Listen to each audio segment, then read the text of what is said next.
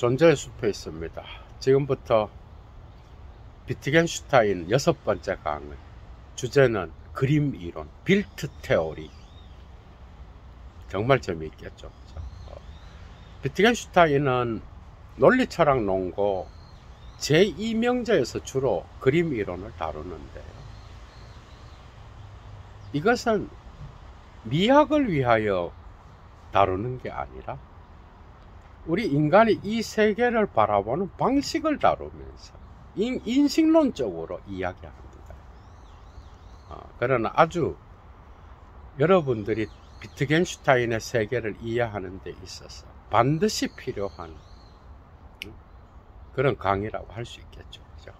그림 이론을 알게 됨으로써 보다 세밀하게, 촘촘하게 비트겐슈타인의 사유의 거물을 어, 여러분들이 포착하는 그런 시간이 되지 않을까 생각합니다. 강의의 클래스를 아시고 애청하시는 분들 가운데 여건이 되시는 분은 수업료 보내주셔요. 음. 강의 이어나갑니다. 비트겐슈타인의 세계 이해를 이미 이 예도는 세계란 무엇인가 라는 강의에서 했죠. 저번 시간에. 여기서 중요한 개념이 몇 개 나타나. 그죠? 이름으로 구성된, 이름의 연쇄로 나타나는 것은 사태라 그랬어. 그죠? 사태를 잘 알아야 돼, 여러분들. 그런데 사태는 하나냐? 예를 들면 책상 위에 연필이 있다. 그건 하나의 사태죠. 책상과 연필이라는 이름의 연쇄가 들어가죠. 그죠? 어. 그런데 책상 위에 연필은 또 어떤 집의 공간 안에 있다. 그리고 그 집은 어떤 도시의 지역 안에. 있다. 이런 방식으로 계속해서 이 세계는 다양한 이름들에 의하여 관계 맺고 있는 맞죠, 그죠? 음. 그러니까 사태는 하나가 아니고 복수야. 그죠? 복수의 사태들의 논리적 가능성이 바로 사실이라 그래. 타트자흐. 그러니까 사실이 그림이라는 그래서 비트겐슈타인은 제1명제에서 세계는 사물들의 총체가 아니라 사실들의 총체라 그랬거든요. 어. 여기에는 이미 인간이 이 세계를 그림으로 사유하기만 하는 게 아니라 그 이 세계를 눈으로 바라본 어떤 상을 언어로 표현한다는 게 들어가요. 그죠? 음. 그래서 특정 이름의 연세로 구성된 그 사태를 다른 사태와 연결하여서 이야기함으로써 이 페얼할트의 복수가 또 모여서 논리적 가능성을 형성하게 되고 그것이 타트자허 사실을 만들어내는. 그러니까 인간은 사물의 존재에 직접 접근할 수 없는 거 야. 야, 이게 칸트로부터 나왔다는 게 확실히 드러나죠. 그죠? 음. 그러니까, 칸트는 순수 이성 비판에서 인식의 한계를 설정하잖아. 이성에. 그리고 그 한계를 설정하고 한계를 넘어서는 것을 실천 이성으로 보내. 어? 예도가 세, 세밀하게 강의했죠, 칸트. 그러니까 신이라든지 자유의 개념이라든지 영혼 불멸이라든지 이런 거는 이성의 순수 이성의 어떤 감각 직관으로 이렇게 들어오는 게 아니잖아. 그래서 한계를 설정하는. 비트겐슈타인은 이것을 그 칸트를 따라가 큰 도시가 재미있죠, 그죠? 그러니까 순수 이성에서 실천 이성으로 넘어가는 그 부분은 말할 수 없는 게 되는. 비트겐슈타인은 윤리적인 것도 진노스라 그래요. 마, 무의미한 거라 그래요. 말할 수 없는 거예요. 미학적인 건 당연한 거고, 신비, 신비로운 건 당연한 거겠죠. 그죠? 음. 그러니까, 말할 수 있는 것은 칸트가 이성의 한계 안에 두었던, 순수 이성의 한계 안에 두었던 것을 말할 수 있는 거라고 표현합니다. 그게 칸트는 인식의 한계를 설정했다 그러면 비트겐슈타인은 그것을 다른 방식으로 언어 안에서 사유의 한계를 응? 반드시 언어를 통하여 그어지는 사유의 한계를 설정하려고 했던 거예요. 음. 그게 이 세계의 모든 사물들을 우리는 알 수 없어. 그죠? 물 자체는 알 수 없어. 비트겐슈타인한테도 똑같아요. 그래서 우리는 사물과 직접 만나는 게 아니에요. 우리는 언제나 언어를 통하여 사물을 만난다는 거예요. 그래서 모든 사물은 각각 개별자들은 뭐예요? 이름을 갖고 있어. 응?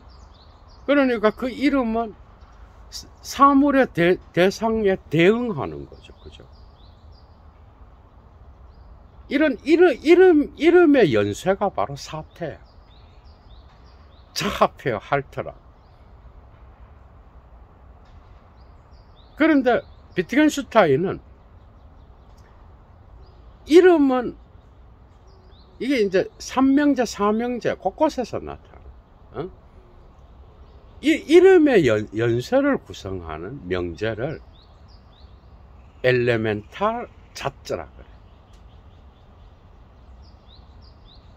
이게 또 다른 말로 원소 명제도 되고 단순 명제도 되고 또 어, 요소 명제, 어? 기본 명제 이렇게 어? 표현할 수 있겠죠. 그죠? 그러니까 엘레멘탈 자체는 이름만으로 구성된 거야. 이게 사태를 이루는 거야. 그런데 이 사태들이 모여서 복합 명제를 형성하겠죠. 콤플렉서 썰 자체라 그러는데 이 복합 명제가 바로 사실이에요.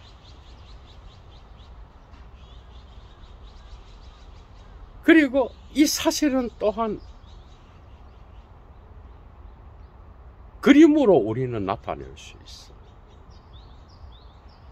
이미 칸트는 순수 이성 비판에서 시간과 공간을 통하여 들어오는 음? 그걸 표상이라 그러잖아, 그죠? 그게 표상이 바로 그림인 거예요. 우리는 눈으로 눈을 갖고 눈의 감각을 갖고 보는 게 없으면 그림이 이 세계를 그림으로 볼 수가 없어요. 음. 그러니까 그게 이미지로 나타나던 어떻든 이미지라는 말을 하려 그래도 감각 직관과 지각과 관계해야 되는 거야 인간에 근데 인간은 그 그림을 그냥 그림으로서 가만히 뭐 이렇게 보느냐 그게 아니라 그 그림을 언어를 통하여 사유를 해 개당크 음. 그러니까 비트겐슈타인의 논리 철학 논거의 어떤 사유를 따라가면 타트자허, 사실, 잡지, 명제, 빌트, 그림 이런 것들은 나란히 그죠? 그 다음에 개당커, 사유, 생각 이런 것들은 같이 이렇게 함께 인식론을 구성하는 거예요. 어.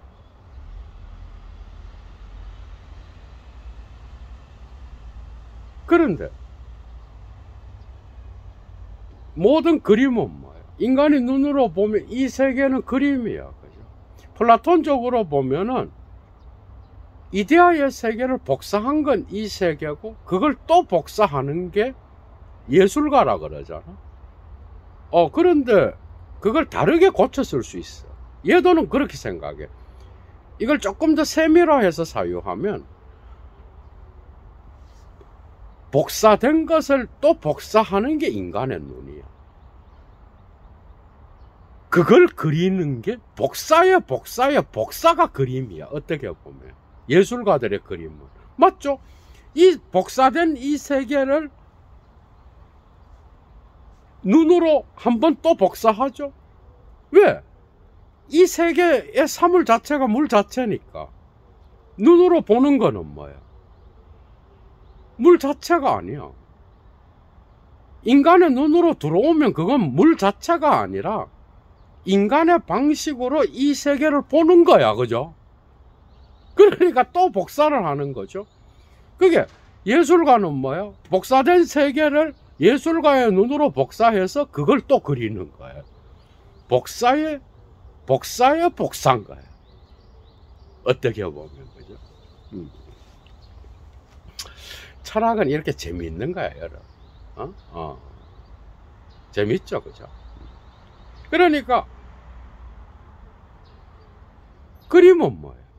우리는 우리는 이 세계를 그림과 그림으로만 그래 그러니까 특정 이 세계에 대한 빌트 상을 갖게 돼. 그림은 근데 어떤 특징이 있어? 그림은 똑같이 이야기해 비트게슈타 아프 빌덴이라 그래. 어떤 것을 모사하는 특징을 갖고 있어. 복사죠, 그죠? 응? 어떤 것을 따라 다시 그리는 특징을 갖고 있다고. 응?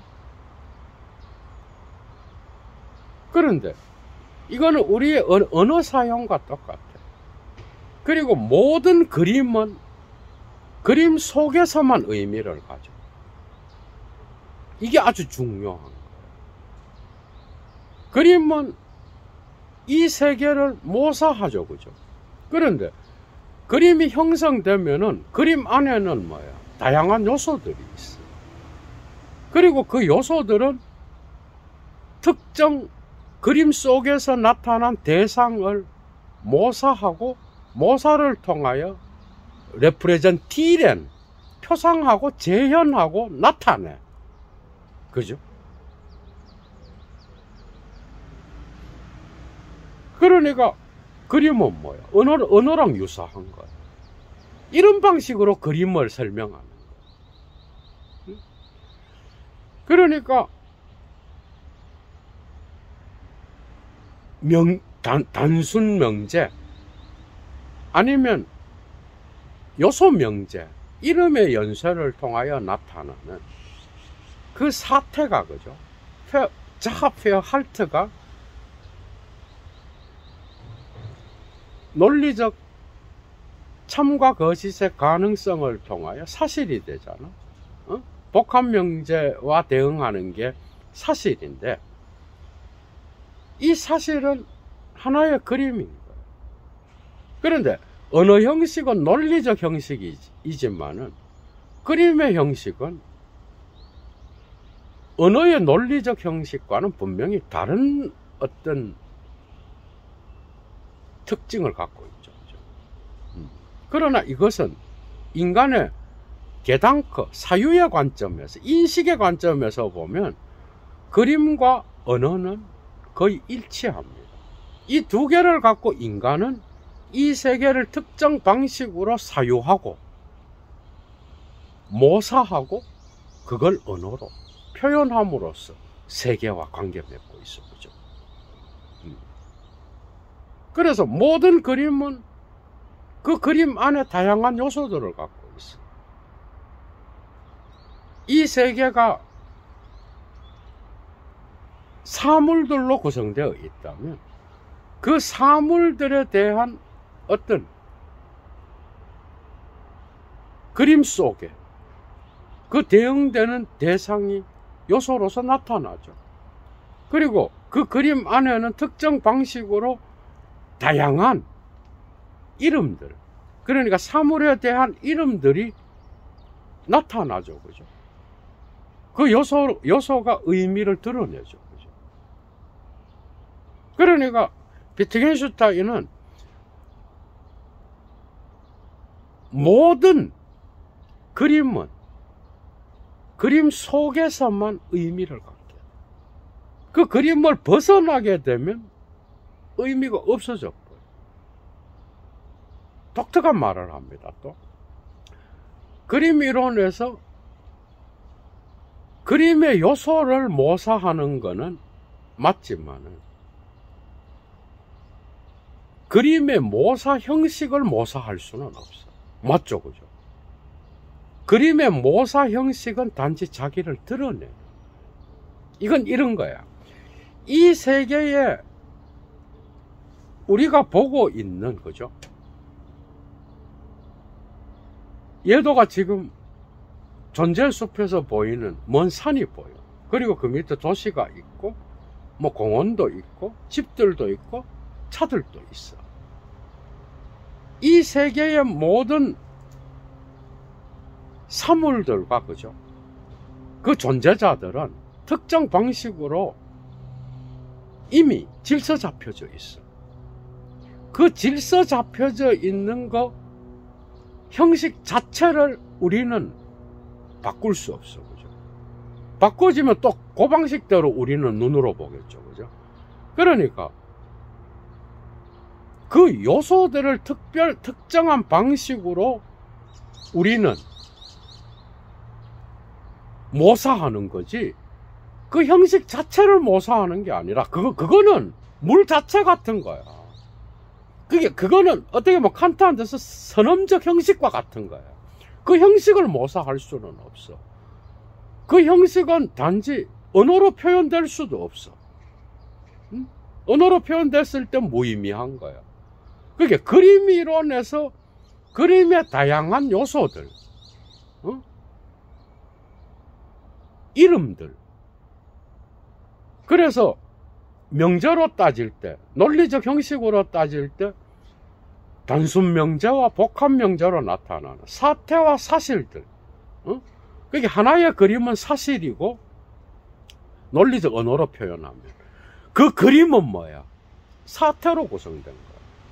그런데 그 사태는 또한 다양한 이름의 대상들로 구성된 거야. 그죠? 음.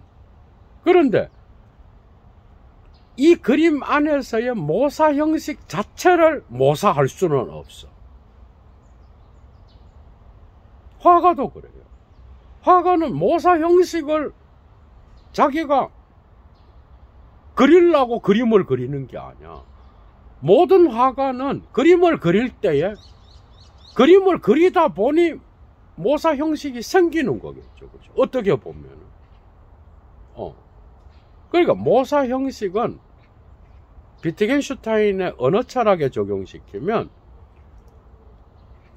그림 아, 안에서의 다양한 요소들은 사태를 구성하는 거죠. 이 다양한 요소들은 바로 언어 철학에서는 이름들이고 대상들인데 이런 것들은 모사를 통하여 의미를 드러내는 거예요. 특정 관계를 통하여 그죠? 이거를 그림 이론에서 비트겐슈타인은 슈트룩투얼 구조라 그래.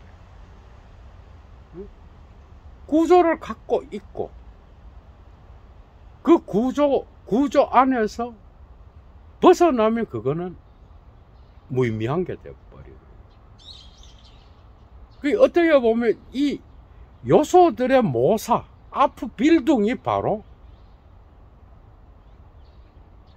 그림 이론에서는 어떻게 보면 말할 수 있는 것이더라.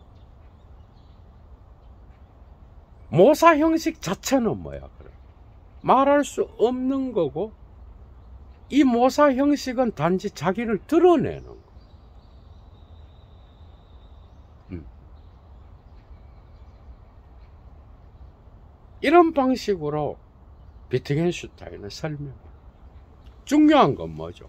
화가는 특정 관점에서 그림을 그리죠. 그죠?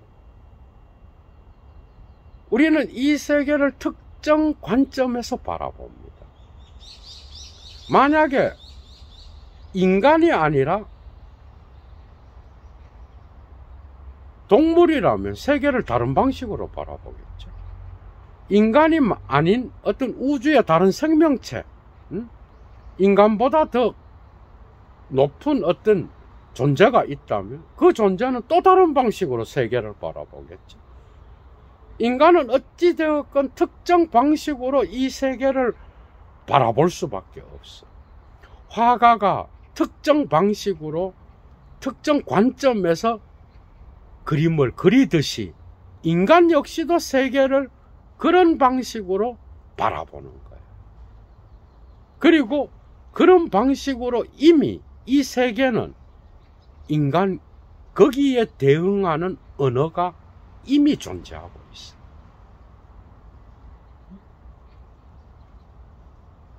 모든 대상은 세계의 사물들은 뭐예요? 이름을 갖고 있잖아, 그죠? 그래서 언어는 세계에 대응하는 거예요.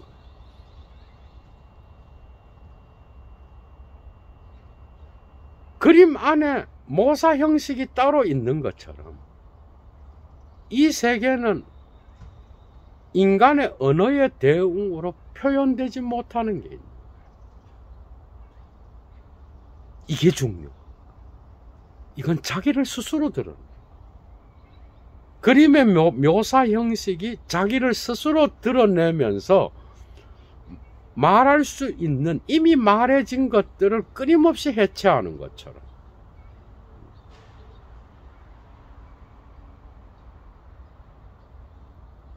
그래서 무의미와 유의미의 결정은 어떻게 보면 과학의 명제로 보죠. 환원될 수 있는 어?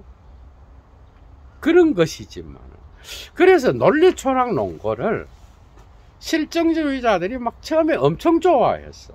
왜냐하면 이게 나왔을 때 사실 비트겐슈타인은 프레게와 버틀란드 러셀로부터 엄청난 영향을 받았잖아. 그게 노, 이게 100% 논리 철학이고 어떤 실중주의적인 특징을 갖고 있고 자연과학과 물리학의 어떤 그러한 명제들을 대변하는 걸로 생각을 한 거야. 나중에 읽어보니까 아니거든. 심지어 논리 철학 논고 마지막 부분에서 비트겐슈타인은 나의 책을 다 이해했다면 여러분들은 이것을 부, 부조리한 것으로 느낄 것이다. 이런 얘기를 해요. 알베르 까미나 사르트르나 메를로 뽕띠가 이야기했던 그런 이야기도 해요. 이 말은 모든 걸 이, 해했으면 어? 부조리한 것으로 내버리라. 사다리를 타고 올라갔 가, 간 뒤에는 사다리를 지워버리는 것처럼 그런 방식으로 자기의 논리 철학 논거를 이해했으면 좋겠다. 이것은 말할 수 있는 것을 대변하는 게 거예요. 말할 수 있는 것을 명료함으로써 말할 수 없는 것이 드러나는. 그러니까 우리가 바라보는 것, 우리가 사유하는 것, 그리고 우리가 그림으로 그리는 것, 그것은 매 순간 동일한 것을 보더라도 그건 다르게 우리에게 다가와요. 맞죠? 여러분들 봐봐. 어느 날은 같은 산책하면서 같은 장면을 보는데 이렇게 보이고 어떤 날은 저렇게 보이고 그 그림이 다르게 나타나. 응? 그거는 그 요소들의 관계가 다른 방식으로 보여지기 때문에 그런 거거든. 그래, 어떨 때는 분명하게 나의 앞에 보여지는 그 장면이 이런 식으로 느껴졌는데 어떨 때는 무한한 신비로 언어로 표현할 수 없는 어떤 장면으로 다가올 때가 있는 거예요. 그죠? 그래서 그림의 형식을 모사할 수 없다는 것. 특정 모사로 완전히 환원될 수 없다라. 이 세계도 그런 거죠. 그죠? 그림 여러분 봐봐. 화가의 그림은 어떤 특정 관점을 갖고 예술가의 어떤 사유를 통하여 아주 오랜 기간 작업을 통하여 손작업을 통하여 나타나지만은 그것은 볼 때마다 다른 방식으로 우리에게 자기를 보여줄 때가 있는 거예요.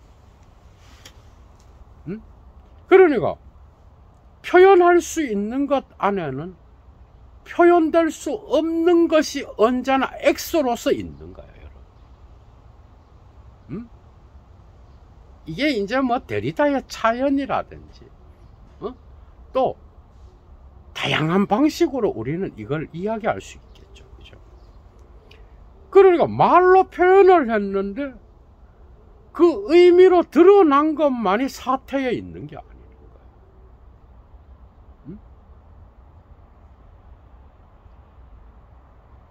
그래서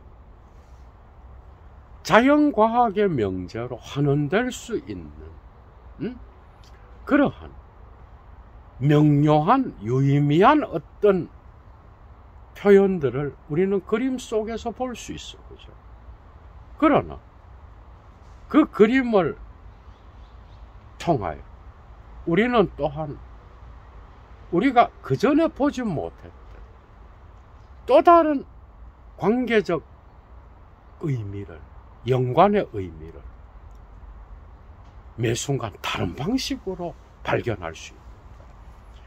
그러니까 비트겐슈타인 역시도 이 세계의 모든 거죠. 모든 존재자들은 이름을 갖고 있고 그 이름들이 특정 맥락에서 사용될 때에 어? 이름 자체를 우리는 몰라요. 응?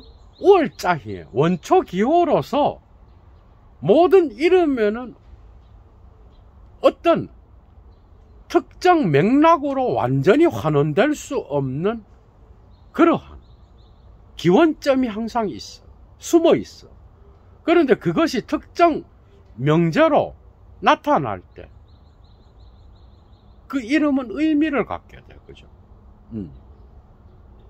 특정 그림은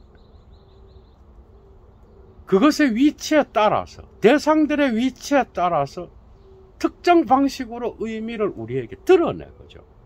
음. 그래서 명료화할 수 있어 의미를. 그러나 그것만이 있는 게 아니야. 사실은 비트겐슈타인의 그 말에는 우리는 언어로 표현할 수 있는 것보다 훨씬 많은 것들을 표현해. 그런데 화가들도 그래. 화가들도 작품을 통하여 자기가 표현할 수 있는 것보다 작품이 만들어지게 되면 화가가 의미화하려고 했던 것보다 훨씬 더 많은 복수의 의미들이 관람객의 전이에 따라서 다른 방식으로 막 이게 드러나는 것처럼 어? 이 세계를 바라보는 그림 역시도 동일한 거기에는 그림의 형식이 있기 때문에 그 요소들이 자기를 레프레젠티렌 하는 어? 재현하고 드러내는 것만이 있는 게 아니야. 볼 때마다 다른 방식으로 재현하고. 그러니까 논리 철학 농고의 뒤로 가면서는 이런 자기를 보여주는 것. 말하는 것, 명제로 말하는 말에서 의미로 드러나는 것 뿐만 아니라 세계 자체가 자기를 보여주고 세계를 바라보는 그림 자체가 자기를 보여주고 언어 표현한 것 안에서 표현되지 않은 것이 드러난다라는 거. 음. 그걸 보여주는 거예요. 그러나 각각의 개별 이름들은 이미 인간에게 알려져 있다라는 거예요. 이게 여기에 쏘고만 안 돼. 이미 알려진 거기 때문에 이걸 갖고 어느 게임을 하면은 이거는 뭔가 새로운 것을 드러내는 게 아니다. 그게 아닌 거예요. 어? 문학이나 시 쪽으로 가면 이거는 그냥 금방 무너져. 음? 그래서 비트겐슈타인은 논리적 명제의 구조를 다루고 추론을 다루고 인식론을 다루고 그 다음 점점 이제 이 명제의 환원을 넘어서는 그죠? 그런 것들을 이야기하는 그래서 말할 수 없는 것의 영역으로 또 넘어가 무의미의 영역으로 넘어가 윤리학을 다루고 미학을 다루고 신비로운 것을 다루고 그러나 이런 영역을 비트, 비트겐슈타인이 있기 이전의 철학에서 다루지 않았나? 아니요. 말할 수 있는 것과 말할 수 없는 걸 다 다뤘어. 가능하다면 철학은 이런 경계 짓기를 분명하게 해서 말할 수 있는 것의 영역을 더 명료하게 함으로써 경험 가능한 영역을 확실히 하자는 거고 그것을 벗어나는 무의미의 영역은 가능하다면 경험 가능한 것에 어떤 한계 설정 안에서 다른 방식으로 드러나는 것을 보자는 이야기야. 어떻게 보면. 그러니까 그 비트겐슈타인의 철학 비판은 어떻게 보면 형이상학에 대한 비판이고 말할 수 없는 것을 너무 많이 말했기 때문에 철학 자체가 혼돈스러워졌다. 이런 면도 있긴 있어요. 그런데 뒤로 가다 보면은 자기도 동일하게 신비를 끌어오거든. 그건 또 다른 영역이에요. 그건 당연한 거예요. 우리 인간은, 우리 인간은 단지 이 세계를 발견해 가면서 과학을 발전시켜 왔어요. 지금 있는 고도의 자연과학의 이론들도 새로운 발견을 통하여 언제 무너질지 몰라. 명제는 확정된 게 아니라 계속해서 발견을 통하여, 실험을 통하여, 관찰을 통하여 변해가는 거잖아. 그죠? 그렇다 그러면 자연과학에 말할 수 있는 영역, 어? 명제의 영역 역시도 그죠? 열려져 있는 거야, 사실. 그러나 철학은 이러한 경계짓기를 통하여 경험 가능한 영역을 명료하게 하, 는 것으로부터 출발해야 된다라는 거예요. 음. 엄밀하게 보면 그래. 신학이나 미학이나 뭐 윤리학 이런 것만 뭐, 뭐 응? 말할 수 있는 것 안에서 말할 수 없는 것의 영역에 속하는 게 아닌가.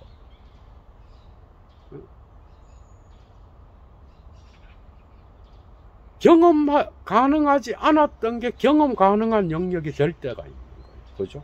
그러니까 개방성으로 열려 있는 거예요. 비트겐슈타인은 이것을 자기를 계시한다. 그래서 세계 안에는 뭐야? 자기를 보여주는 짜이겐 지히. 응? 그래서 우리가 지금은 무의미한 것으로 나타나지만, 어? 그 영역이 없다는 게 아니에요. 그래서 말로 형언할 수 없는 어? 그런 것들이 이 세계에는 존재하며 그것은 언제나 자기를 보여준다. 자기를 계시하는 거야. 그래서 세계는 풍성한 거예요. 응?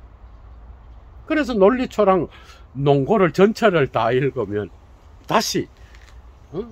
초반에 했던 비판과는 다른 방식의 어떤 헷갈림이 있는 거죠.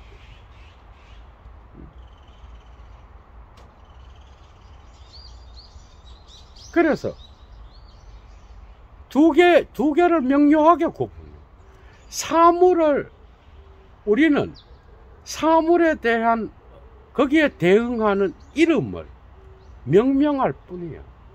우리는 그 사물들의 관계에 어떻게만을 표현할 뿐이야 말로. 음? 그리고 이 세계의 그림을 우리는 어느 형식으로서 그런 방식으로 또 관점을 갖고 봐. 그러니까 그림은 언제나 언어와 함께 가는 거야. 인간의 인식론에서. 응? 그러나 사물의 이름 자체를 우리는 몰라. 물 자체야. 사물의 무엇을 우리는 알 수 없어. 응? 그래서 말할 수 없는 것의 영역에서 비트겐슈타인은 사물의 존재로 나아가는 것을 끊임없이 경계하고 있어. 뒤쪽으로 가면 달라지죠. 어.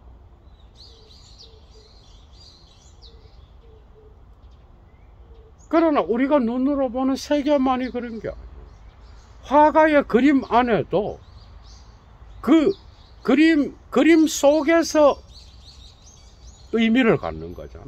그러니까 이, 그, 이 그림 안에서 이, 이 그림의 요소들, 다양한 사물들의 대상들, 그림으로 옮겨진 것들이 그 그림 안에서 의미를 갖는 거잖아. 이 그림이 다른 걸로 옮겨지면 이건 의미를 가질 수가 없어. 그죠? 뭐 갖다 떼 붙여서 뭐 억지로 하면은 되겠지. 그러나 하나의 그림은 그 그림 안에 안에서만 의미를 거야. 그런데 그 그림 안에서 우리는 논리적 형식으로 구성된 언어 형식의 도움을 받아서 이미 사유하기 때문에 그 그림을 이해합니다. 화가 역시 그림을 그릴 때 언어를 모른다 그러면 그냥 복사하려고 하, 기는 하겠죠. 그러나 사유를 못하고.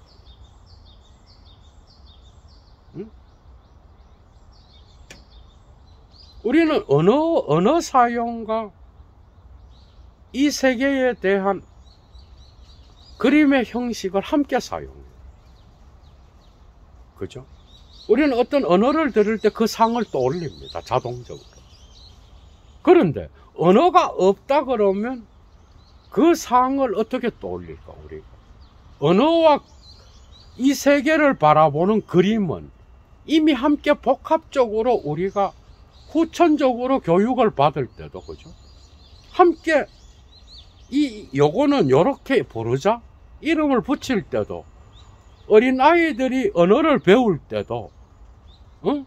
외국어를 배울 때도 요 그림을 요렇게 한 요런 기호를 붙인다. 우리는 그렇게 배우고 있잖아. 그래서 그림과 언어 기호의 어떤 거기에 대응하는 그 관계는 우리는 함께 갖고 있어. 그래서 그림 안의 요소들은 우리가 언어로 명명할 수 있는 그 관계들을 이야기하고 그 의미를 추려낼 수 있는 거야. 그러나 그 대상 자체, 이름 자체, 사물 자체 어떻게 보면 그건 우리는 알 수 없어. 그래서 우리는 무엇은 절대 몰라. 바스는 절대 모르고 위, 그 바스가 어떤 방식으로 다른 바스와 관계 맺고 있는지, 특정 대상이 다른 대상과 어떻게 관계 맺는지, 어떻게만을 우리는 알 수 있는 거야. 그림에서 의미도 동일한 걸 획득하는 거야. 그죠? 어. 모든 그림이 그래요, 여러분. 그림에서 의미를 주는 거는 우리가 이 세계를 바라보면서 언어로 그것을 그림 형식을 모사하고 표현하는 거. 그래서 재현하는 거. 그것과 정말 유사해요. 우리가 보면. 음. 그래서 그림을 그리는 이러한 그림의 역사에도 미학이란 학문이 존재할 수 있었던 거예요. 철학 안에서요. 그래서 빌트와 그 다음 언어, 형식으로서의 자즈, 명제는 같이 가는 거야. 비트겐슈타인에 대해서. 뭐 비트겐슈타인한테만 그렇게 했어요. 오늘날은 포스트 모든 강의 들은 사람도 알겠죠. 막 많이 나왔어 이쪽으로. 어. 그런데 비트겐슈타인에 대한 어떤 철학적 인재는 정말 중요하고 그래서 예도가 세미라 강좌를 하게 된 거예요. 그러니까 우리는 이 세계에 존재하고 있는 그림 속의 요소들의 어떻게를 우리는 알아. 그러나 그 그림이 그런 방식으로 그냥 존재한다라고 하는 그 사실을 우리는 알 수 없어. 맞죠? 그죠? 물리학자나 과학자들이 백날 세계의 기원을 이야기해도 이 세계가 존재한다는 사실 그 자체는 신비로 남아있어. 원인은 계속해서 규명되는 거잖아. 그죠? 원인을 안다고 존재하는 것 그 자체까지도 자연과학자들이 증명하나요? 우리는 이 세계를, 그러니까 이 세계가 존재한다는 사실 자체가 신비라는 것 뭐예요. 비트겐슈타인한테서 타트자 사실 개념은 자연과학에 머무르지 않는다. 우리는 대개 물리학자들처럼 이 세계를 양자의 입자로 보지 않아요. 양자의 입자로 보면 세계가 얼마나 상망하게서 다 인간이든 구분이 없어 다, 다 양자의 입자인 거야. 어? 먼지같이 보이겠죠, 다. 그런데 우리는 꽃은 꽃으로 보고 나무는 나무로 보고 그 다음에 저기에 지나가는 동물은 어? 개나 고양이로 보고 그죠? 그리고 사람은 사람으로 보고. 그래서 미학적으로 우리는 바라보는 비트겐슈타인의 사실 개념은 여기에 근저로 있어요. 그래서 일상적 언어 형식을 분석했던 거예요. 음.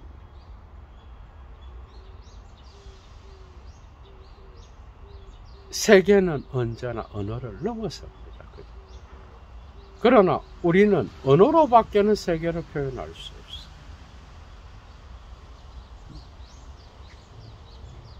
이 한계 설정을 명확하게 한다는 건 언제나 언어를 넘어서는 것을 볼 수 있고, 어?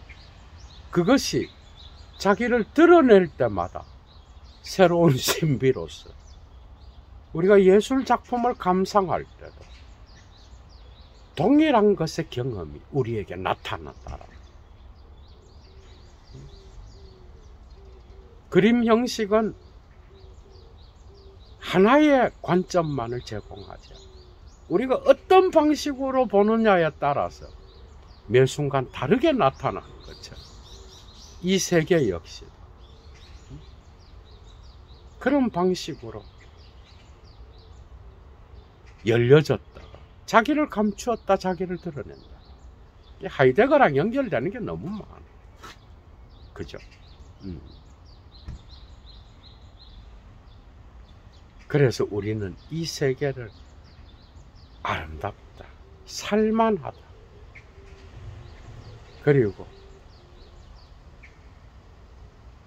우리는 홀로 떨어진 그런 유아론자들이 아니라 그림과 언어를 통해 우리의 눈으로 보는 그림을 통해 또한 언어를 통해 이 세계와 관계함으로써 지금도 우리의 삶, 신비로운 풍성함이 거죠.